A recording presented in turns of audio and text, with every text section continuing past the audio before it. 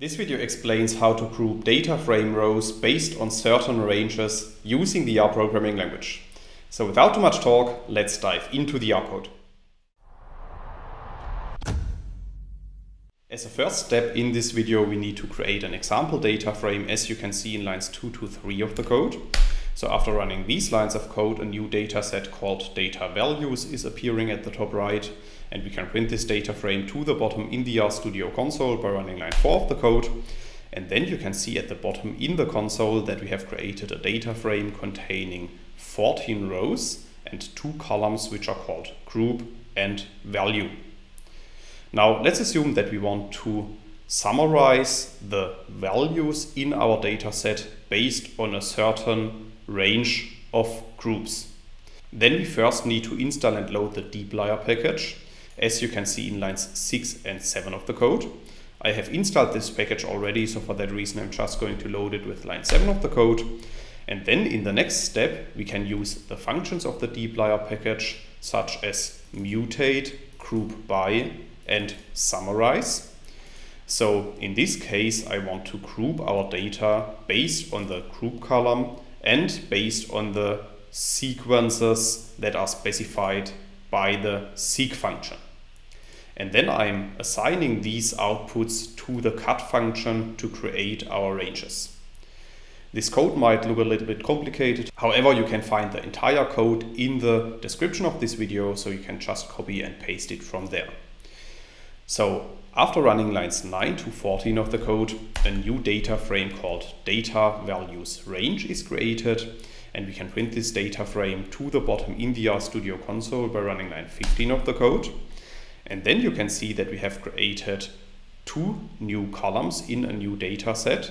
The first column is called ranges, and this column is based on the group column of our input data frame. And as you can see, we have created three different ranges. So the first range is ranging from 2010 to 2015. The second range is ranging from 2015 to 2020 and so on. And then in the second column, which is called sums, you can see the sum values of the values in each of those groups. So in this first example of this tutorial, I have explained how to group the rows of a data frame based on ranges of values. However, it's also possible to group the rows of a data frame based on a range of dates. And this is what I want to show you in the next example, starting in line 17 of the code. So as a very first step, we need to create another example data frame, as you can see in lines 17 to 20.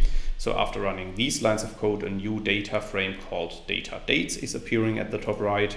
And we can print this data frame to the bottom in the RStudio console by running line 21. And then you can see that we have created a new data set which contains 18 rows and two columns. The first column contains dates and the second column contains values.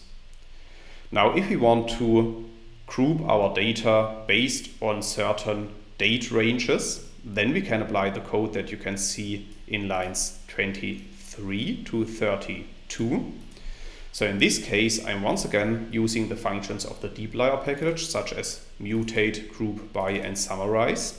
However, then this time I'm specifying within the cut function that I want to cut our data based on certain dates so after running lines 23 to 32 of the code, another data set called data dates range is appearing at the top right. And if we print this data set to the bottom in the RStudio console, you can see that we have created another data frame which contains two columns. The first column contains our ranges. So this is always the starting point of our range. And then you can see on the right side that we have created another column which is called sums and this column contains the sum of values in this date range. That's all I wanted to explain in this video. In case you want to learn more on this topic, you may check out my homepage, statisticsglobe.com, because on my homepage I have recently published a tutorial in which I'm explaining the content of this video in some more detail. I will put a link to this tutorial into the description of the video so you can find it there. If you have liked this video or if you have any questions, let me know in the comments section below. I'll try to respond to all comments as soon as I can. Furthermore, make sure to subscribe to my YouTube channel to get notified about future video releases. I have already published about 500 videos on this channel and I'm releasing new videos on a daily basis. Thanks a lot for watching, see you in the next video.